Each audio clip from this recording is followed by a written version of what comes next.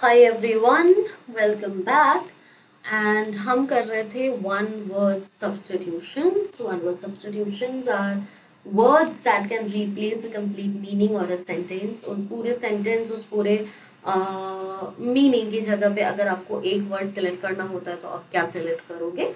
उसी को one word substitution कहा जाता है। Fine chronology was the last word जो हमने करा था। इसके बाद हमें आगे मूव करना है।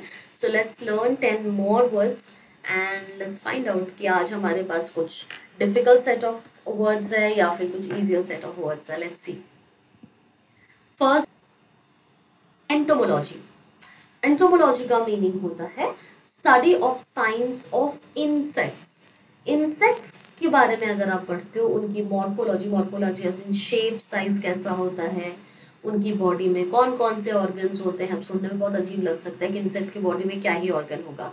बट नहीं ऐसा नहीं है। बहुत सारी चीज़ें होती हैं बहुत सारे ऑर्गन्स होते हैं। तो उसकी स्टडी करना किसी ने तो पढ़ा ही होगा। ऑब्वियसली बात है अगर इतने सारे इंसेक्ट्स के बारे में आपको पता है आप जानते हो कि अच्छा ये ये मच्छर है ये आ, मकड़ी है ये कुछ है ये कुछ है। तो इतने सारे अगर इंसेक्ट्स के बारे में आप जानते हो तो डेफिनेटली किसी ने तो स्टडी करी ही होगी राइट तो इंसेक्ट्स की भी अलग से पढ़ाई होती है। स्टडी होती है साइंस होता है। उसी को एंटोमोलॉजी कहा जाता है। Then you have is ecology ecology मतलब ये वर्ड बहुत इजी है, आप लोगों ने डेफिनेटली बहुत बार अपनी लाइफ में सुना होगा। And you know this this is study of the relation between the organism and their environment ठीक है? ऑर्गेनिज्म और उसके एनवायरनमेंट के बीच के रिलेशन के पढ़ने को इकोलॉजी कहा जाता है, ठीक है? कि फॉर एग्ज़ाम्पल मैं हूँ। मेरा, मेरे एनवायरनमेंट की तरफ़ किस तरह का रिस्पॉन्स होगा? मैं हीट के तरफ़ किस तरह रिस्पॉन्ड करती हूँ? कोल्ड की तरफ़ किस तरह रिस्पॉन्ड करती हूँ? बारिश में क्या करती हूँ? ठीक है तो मेरा जो तरीका होगा to deal with all this environmental circumstances किसी एनिमल का वो डिफरेंट हो सकता है, किसी इंसेक्ट का, किसी बर्ड का वो डिफरेंट हो सकता है, किसी प्लांट का वो डिफरेंट हो सकता है, ठीक है?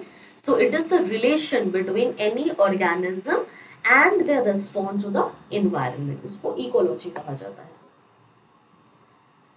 Genetics genes study of hereditary genes and variation in living organism again जैसे मैंने अभी दो चार आपको चीज़ें बताई, मैं ह्यूमन हूँ, कोई एनिमल है, कोई इंसेक्ट है, कोई बर्ड है, कोई फ़िश है, कोई क्रोकोडाइल है।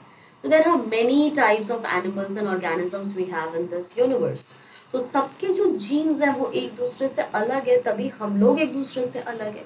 इनफैक्ट मेरा और आपका भी एक दूसरे से जीन अलग है and that is the reason we are not the same fine तो हमारे जीन्स आर डिफरेंट हमारे uh, कुछ चीज़ें अगेन मैं साइंस में नहीं जाऊँगी so there are certain things in our genes that are different there are certain codes in our body that are different that makes every human separate even the twins जो दिखने में identical twins होते हैं ठीक है? तो identical twins भी एक दूसरे से अलग होती हैं जीन्स की ही वजह से। उसकी जो स्टडी होती है कि वो कैसे हेरिडिटरी पास हो रहा है, ठीक है, या फिर कैसे वेरिएशन आ रहा है, ठीक है that is known as genetics then you have geology geology का मतलब होता है study of rocks and soil I hope you guys know कि हमारे पास कितने तरह के रॉक्स होते हैं। जो अभी हम हम अभी करंटली अगर मैं कहूँ हमारे पास कितने रॉक्स होते हैं सॉइल के कितने सारे टाइप्स होते हैं, उसकी जो स्टडी कौन से सॉइल पे किस तरह का प्लांट अच्छा ग्रो कर पाता है? जैसे हमें पता है कि ब्लैक सॉइल ब्लैक सॉइल जो होता है वो बेस्ट होता है कॉटन ग्रो करने के लिए, ठीक है?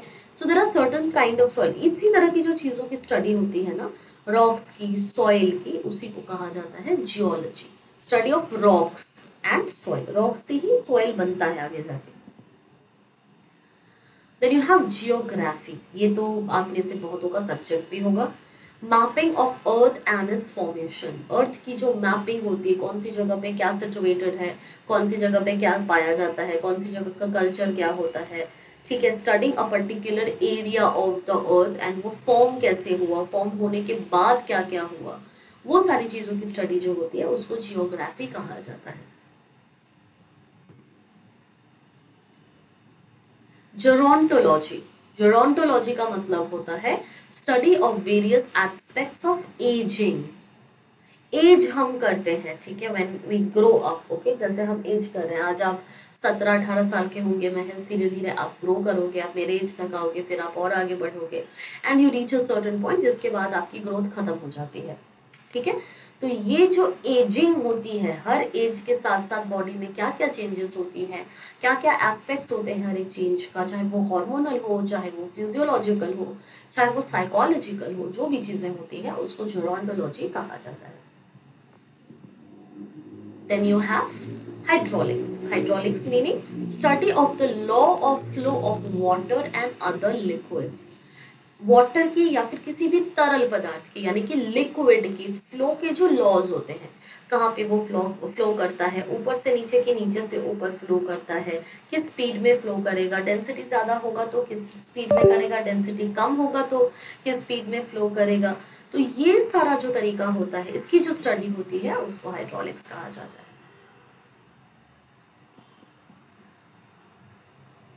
Lexicography I just check once कि कौन से वाले स्लाइड पे हैं हम। We are at 19 okay lexicography का मीनिंग होता है the practice of writing dictionaries dictionaries लिखने की जो प्रैक्टिस होती है। डिक्शनरीज आपको पता है जिसमें पूरे A to Z words and meanings होती हैं। उसके लिखने को लेक्सिकोग्राफी कहा जाता है। लेक्सिकोग्राफी फाइन न्यूमिस्मैटिक्स न्यूमिस्मैटिक्स का मीनिंग होता है study of collection of coins tokens paper money etcetera coin collect करने का टोकन कलेक्ट करने का पेपर मनी कलेक्ट करने की जो स्टडी होती है, उसको न्यूमिस्मैटिक्स कहा जाता है। Fine then ornithology i guess this should be the last slide for today. Yes. ornithology का सिंपल मीनिंग होता है स्टडी ऑफ़ बर्ड्स बर्ड्स की जो स्पेसिफिकली स्टडी जैसे प्लांट्स की स्टडी को आप बॉटनी कह रहे थे, वैसे ही बर्ड्स की स्टडी को उनका इंटरनल फीचर कैसा होता है बॉडी कैसी होती है फ्लाई कैसे करते हैं, खाते कैसे हैं, रहते कैसे हैं, क्या खाते हैं, किस टाइम बाहर निकलते हैं, अपने बेबीज को किस तरह से पालते हैं, वगैरह वगैरह। पूरे बर्ड्स की जो स्टडी होती है, उसको कहा जाता है ऑर्निथोलॉजी सो so, आज हम यहीं तक रखेंगे। Ten words are done we are move to the next video in the next I would say we would move to another set of ten words in the next video आज के लिए यहीं तक रखते हैं। Please reread all this words and attempt the test that you have and then move on to the next video see you in the next video bye bye